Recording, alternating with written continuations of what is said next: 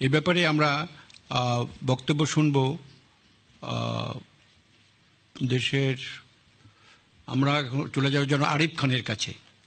জনাব আরিফ খানের কাছে প্রধান নির্বাহী কর্মকর্তা আইডিএলসি তার বক সময় তিন মিনিট। আসসালামু আলাইকুম।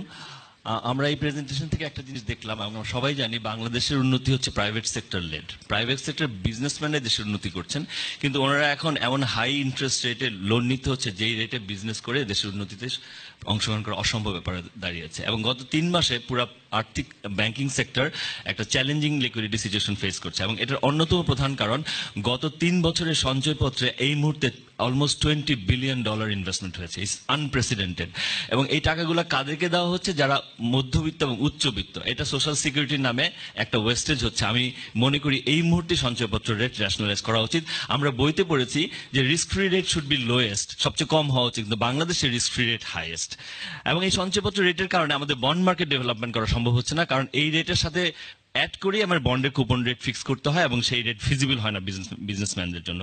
কিছুদিন আগে জিরো কুপন বন্ড নামে একটা বন্ডের মাধ্যমে আমরা বন্ড মার্কেট ডেভেলপ করার চেষ্টা করছিলাম। এনবিআর কিছু ট্যাক্স ইনসেন্টিভ দিয়েছিল যে ক্যাপিটাল গেইন ট্যাক্স একটা রিডিউস রেটে হবে, কিন্তু সাডেনলি দুই বছর পরে আইডিএলসি ফাইন্যান্স অনেকগুলো বন্ড ইস্যু করেছে, কিন্তু সাডেনলি টু ইয়ার্স পরে এটা উইথড্র করেছে। সো সেখানে কোনো পলিসি প্রেডিক্টেবিলিটি নাই। আমি মনে করি বন্ড মার্কেট ডেভেলপমেন্ট যদি গভর্নমেন্টের একটা ফোকাল পয়েন্ট হয় সে everybody should work in in in tandem আমাদের ইনফ্রাস্ট্রাকচার ডেভেলপমেন্ট একটু আগে বলেছেন, আমাদের জিডিপি টেন পার্সেন্ট দরকার অলমোস্ট টোয়েন্টি ফাইভ বিলিয়ন দরকার এভরি ইয়ার টাকাটা কে দিবে? এই টাকা আসার জন্য বাংলাদেশের রেকর্ড দেখা যাচ্ছে মাত্র দুই বিলিয়ন ডলার আসে অ্যাজ অপোজ টু ভিয়েতনাম যাদের সাথে আমাদের কম্পেয়ার করা হচ্ছে, যাদের অনেক বেশি টাকা এফডিআই হিসাবে আসে। এবং এই জন্য আমাদের প্রাইভেট ইকুইটি ইন্ডাস্ট্রি যেটা, বিদেশ থেকে লং টার্ম ফান্ড আসবে, সেই প্রাইভেট ইকুইটি ইন্ডাস্ট্রিকে সচল করতে হবে। ভারতের দিকে তাকালে সেই ইন্ডাস্ট্রি এখন more than hundred fifty billion dollar এখানে প্রাইভেট ইকুইটি অর্গানাইজেশনগুলো ট্যাক্স ইনসেন্টিভ চেঞ্জ করতে হবে। তাদের লক ইন পিরিয়ড আছে ফরেন ইনভেস্টরদের থ্রি ইয়ার সেটাকে ওয়ান ইয়ার করতে হবে।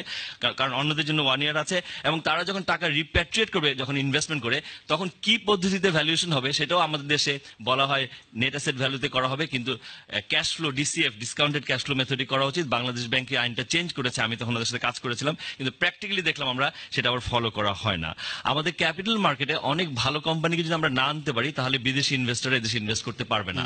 আমরা যদিও জানি তিনশোটা কোম্পানি আছে কিন্তু আসলে ইনভেস্ট করতে গেলে ওরা বিশ পঁচিশটা বেশি কোম্পানি পায় না।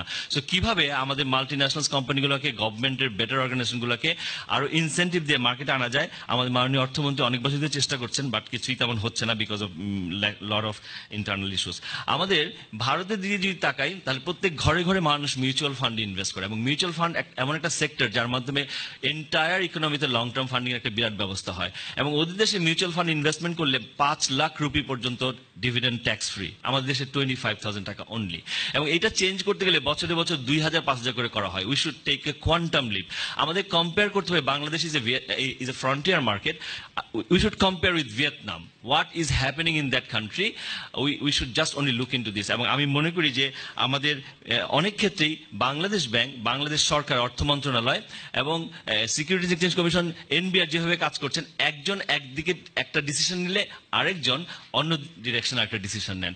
সো গভর্নমেন্টের একটা সেন্ট্রাল পলিসি হওয়া উচিত যে কেন মিউচুয়াল ফান্ড ইন্ডাস্ট্রি ইম্পর্টেন্ট কেন capital market investment important because পৃথিবীর কোনো দেশই ক্যাপিটাল মার্কেট ডেভেলপমেন্ট না করে আপনার বক্তব্য শেষ হয়ে উন্নয়ন করা সম্ভব না। ধন্যবাদ সবাইকে। আপনাকে ধন্যবাদ এবারে।